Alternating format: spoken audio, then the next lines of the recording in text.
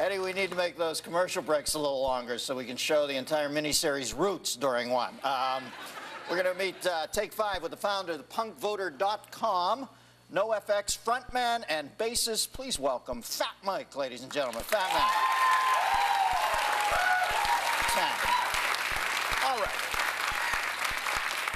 Um, Rock against Bush. Now, let me ask you this. I find uh, Bush to be more of a punk than Kerry because punk is an ethos about being yourself. Now, I look at Bush, and whether you like him or not, he is indelibly himself. I look at Kerry and I see a man who's the antithesis of punk. He's very conflicted about who he is in any given moment or situation.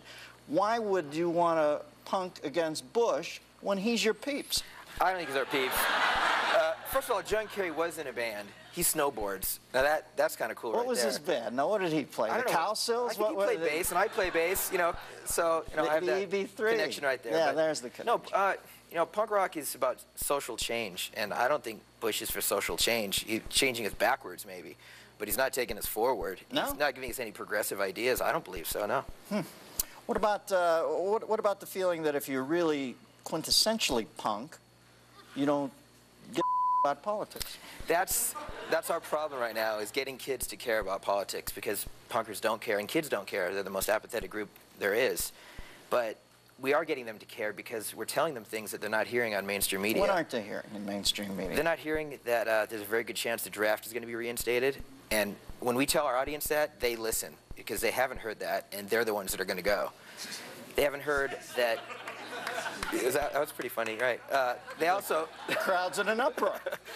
they haven't heard that uh, this is not just an election about the White House. It's you know it's a battle for the Supreme Court, really, because This You know- next, there's going to be a lot of people who are on the cusp of being 200 years old on our current court. that's right. And a lot of retirees, and you know, and the uh, reproductive rights is up there, and we tell kids, you know, abortion could be made illegal in this country very easily. They're one vote away from it, uh, and you know, Kerry is pro-choice and Bush is pro-life, and What it's up the in the air. Bush has Kids care about out- this kind of thing. They don't. They don't care about the economy that much. They don't care about a lot of things, but they do care about these things. You know, Bush has come out and said that he is the chief law enforcement officer of the land, upholds the law on the land, and the law on the land right now vis-a-vis abortion is pro-choice. Does that buy him any goodwill with you? Uh, no, he has made 11 executive actions against reproductive rights, you know, on a lot of places outside of I this country. funding overseas and stuff like right, that. but for, you know, But for our, troop, Roe for our troops' wives. flipped over? You haven't, right? No, I mean, but it I, will. I was warned a lot of things about Bush four years ago, and I didn't quite know what to make of him at the beginning either. But I think you look at his track record, and I think, well, I haven't seen old people turned out into the street. I'm not seeing women in the back alleys Well, you know what? He hasn't been able to appoint anyone yet. So he's Well, between two and four Supreme Court justices will be replaced in the next four years. So there it is. They only need one more vote to overturn Roe versus Wade. And you can't just kick back and see what he's going to do. He's made it clear. You know, he is pro-life, and he's taken these executive actions. So we can't wait. We can't wait for him. You know, we How many to, people are getting signed up? You, you say the kids listen, but I find the kids, that's the thing about kids, man. They're there for your concert, and then they walk out, and then they're into the next thing, Right. and they kind of Well, we were getting about 5% of the shows we've been doing. We're on a Rock Against Bush tour. We've been getting about 5% of the kids to register at the shows. Do you think you'd get more kids if you just did rock against uh, lethargy or rock against no, not no, because kids, it has to be kids rock want against to rock Bush? against something. I know it's fun. It's funny though. Don't you notice? Uh, I would be uh, surprised if there wasn't uh, a lot of kids out there who dig Bush. Do you not notice that? There are, but when we, you know, we have the new CD out, and it comes with the What's DVD. your CD? Let me- It, the CD is called Rock Against Bush. Oh, I see. CD.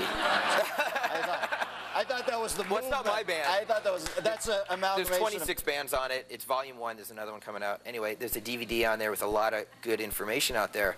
And we've been showing these movies at our shows. And when the kids find out what's going on, there's a movie about the war in Iraq, and it's all CIA agents talking. It's not crazy liberal left-wing people. It's CIA agents Right. saying that our information was good. You know, we did not need to go to war. Anyway, so kids, when they find this stuff out, then they start caring. You feel fulfilled doing this, or do you feel like You know, are betraying your punk roots? Yeah, I do. Well, I wish I didn't have to do this. Yeah, you don't like speaking about this. I do don't you, like doing interviews. I don't like politics. You know, I, you know, I like like we were talking about earlier. I like gambling. I like golfing and drinking, and that's what I want to do. But someone has to do this. Someone has to get our generation involved in this election. And, you know, I know a lot of people, so. Well, listen, man, the, uh,